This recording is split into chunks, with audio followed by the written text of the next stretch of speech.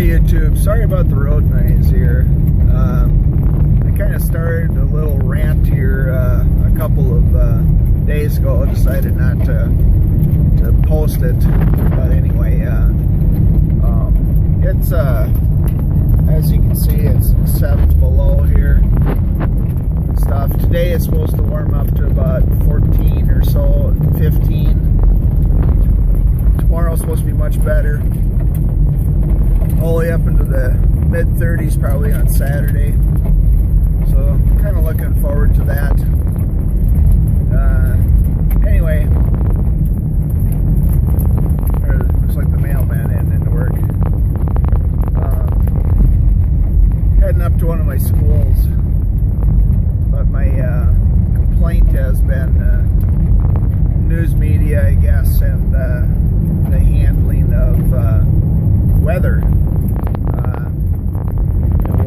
about it's been so cold and stuff like that and uh, just sat down with a guy that may be just a little bit older than me. And uh, we were reminiscing about the uh, 60s 70s 80s times where it get down to uh, below 20 degrees and then warm up to 10 degrees above for a couple of weeks. And then uh, yeah, that was your January freeze, and then after that you had your January thaw, and it uh, just started to kind of moderate from there. But anyway, uh, uh, what had is really been nothing. I know last year got down there a little bit too, but it's nothing compared to uh, what we've had in the past. But I know uh, maybe some of you folks from the south will argue with me. I know it's been awfully cold down there, but it has to have gotten cold down there in the past too, right?